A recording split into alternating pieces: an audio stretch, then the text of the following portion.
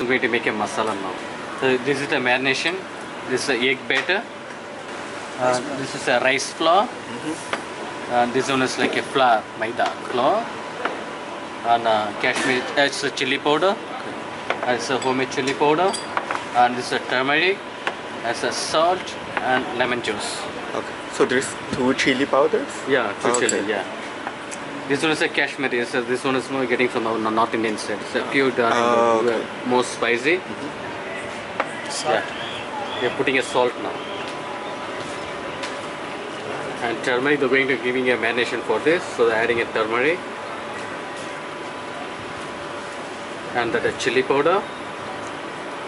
And this is like a North Indian, so like a Kashmiri chili powder.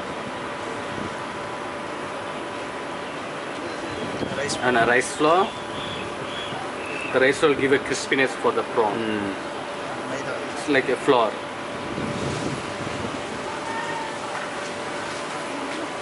Lemon. It's a lemon juice for the taste. This is equal to binding agent. Okay, I'm getting binding.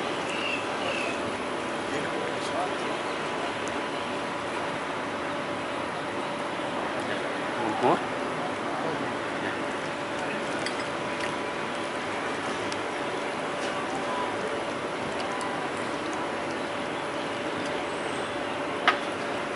and the person going to add the chopped curry leaves for the flavor.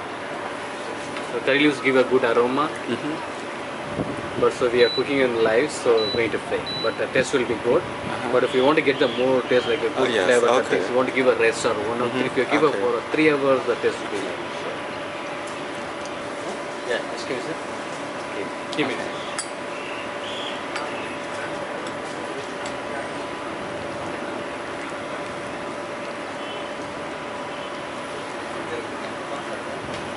Chopped curry leaves.